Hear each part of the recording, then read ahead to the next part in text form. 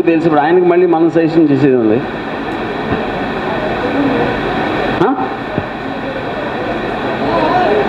ఏదండి?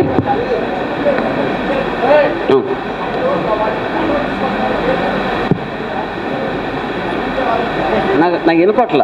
అక్కడే మైక్ ఉందా?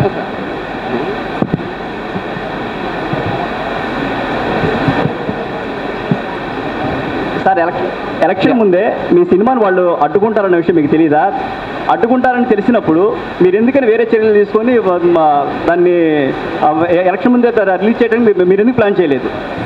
సి ఇప్పుడు అడ్డుకుంటారని తెలుసు అనేది తప్పు తప్పండి అది. మేము అనుకోలేదు. ఎందుకంటే అలా అయితే మరి హైదరాబాద్ హైదరాబాద్ హైకోర్టు ఎందుకు కొట్టేసింది? హైదరాబాద్ హైకోర్టు కొట్టేసింది తెలంగాణ రిలీజ్ చేసినప్పుడు ఎలక్షన్ కౌన్సిల్ కూడా ఏం మాట్లాడలేదు దాని గురించి.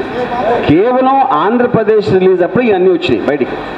ఆబ్వియస్లీ కొంతమంది వ్యక్తులు మన ఒక పాయింట్ అప్పుడు సైకిల్ చాలా జోరుగా తిరుగుతుంది కాబట్టి పంక్చర్ అయ్యే వరకు వెయిట్ చేయాల్సి వచ్చింది. Yeah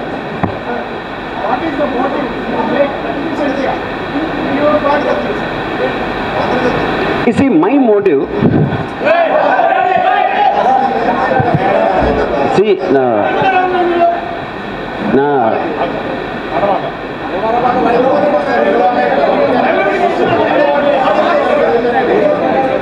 నా నా ఒక్కటే మోటివ్ అండి ఒక డెబ్బై సంవత్సరాలు ఒక మహారాజు ఒక చక్రవర్తి లాగా బతికిన ఎన్టీ రామారావు గారు ఆయన లాస్ట్ డేస్లో జస్ట్ ఒక కొన్ని నెలలు ఒక నరకయాతన పడి ఒక అలాంటి స్థితికి వెళ్ళి మరణించడం జరిగింది.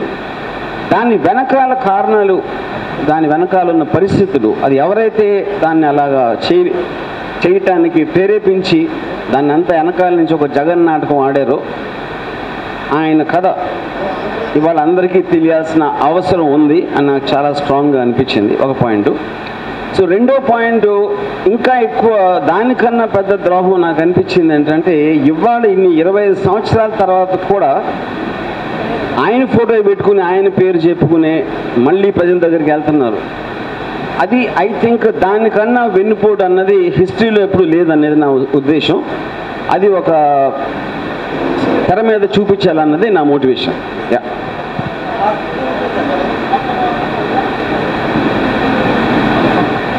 ఇప్పుడు నేను అది నేను రాజకీయ విశ్లేషకుడిని కాదండి నేను దాంట్లో నాకు ఎక్స్పర్టీస్ లేదు.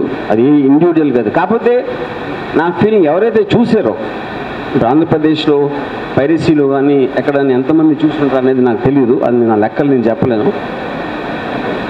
కాకపోతే ఏది చూసిన మీరు చూసినప్పుడు డెఫినెట్గా ఇప్పుడు ఎలక్షన్లో ఒక నమ్మకం అనేది చాలా ఇంపార్టెంట్ అనేది నా ముఖ్యం.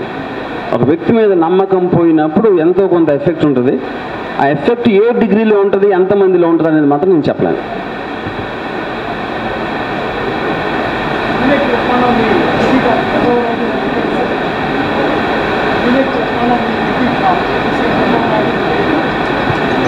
ఆయన ఇంకా ఉన్నారు ఇక్కడ?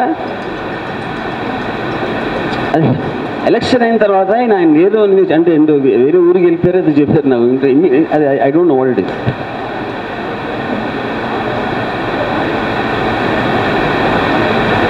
లేదనంటే నేను మొత్తం లక్ష్మీ ఎన్టీఆర్ బిజీగా ఉండి అసలు పవన్ కళ్యాణ్ గారు ఏమవుతుందో పట్టించుకోలేదు. తెలియదు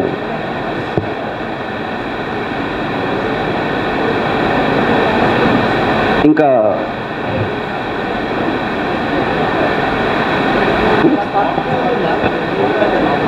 కళ్యాణ్ ఓడిపోయారు కదా? చంద్రబాబు ఓడిపోయారు పవన్ కళ్యాణ్ అని చెప్పారు. అంటే నాకు ఒక్కటే ఏంటంటే ఇప్పుడు చి- చిరంజీవి గారు అంటే నాకు చాలా విపరీతమైన ఇష్టం. యాక్టర్గా ఒక స్టార్గా నేను చెప్పేది. పవన్ కళ్యాణ్ ఎప్పుడు నేను చాలాసార్లు చెప్పాను అది ఒక్కటే నాకు ఏంటంటే చిరంజీవి గారికి ఆ టైంలో పద్దెనిమిది సీట్లు వచ్చినాయి. పవన్ కళ్యాణ్ గారికి ఒక సీట్ ఎంత వచ్చిందని విన్నాను జనసేనకి. సో చిరంజీవి గారి ప్రజారాజ్యం పార్టీ జనసేనతో కంపేర్ చేస్తే బాహుబలి.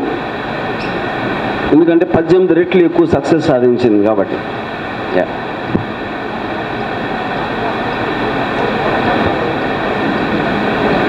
నేను అసలు నాకు దాని గురించి తెలియదు అండి అసలు నాకు బాబు ఎక్కడి నుంచి కూడా నాకు తెలియదు ఎందుకంటే పాలిటిక్స్ నేను ఫాలో అవ్వను అసలు. ఈ సినిమా పాలిటిక్స్ కదా ఇది యాక్చువల్గా పాలిటిక్స్ అనేది బ్యాక్గ్రౌండ్ ఉంటుంది కానీ లక్ష్మీ ఎన్టీఆర్ మెయిన్ థింగ్ ఏంటంటే కేవలం వెనకాల ఎన్టీ రామారావు గారి వీపు వెనకాల జరిగిన కుట్రల్ని బయటపెట్టడం అంతేగాని పొలిటికల్గా ఏమీ లేదు అది.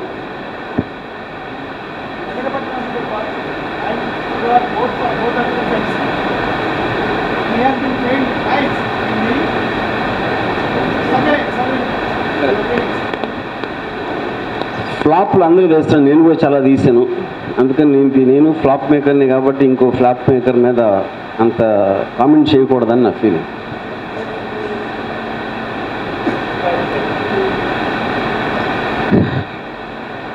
నా నెక్స్ట్ సినిమా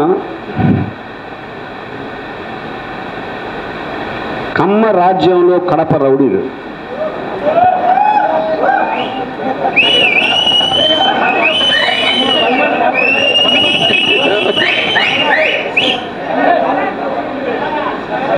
ఏదండి?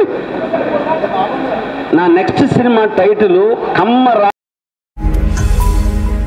ఈ వీడియో గనక మీకు నచ్చినట్లయితే లైక్ చేయండి షేర్ చేయండి. మరిన్ని వీడియోస్ కోసం మా ఛానల్ను సబ్స్క్రైబ్ చేయండి.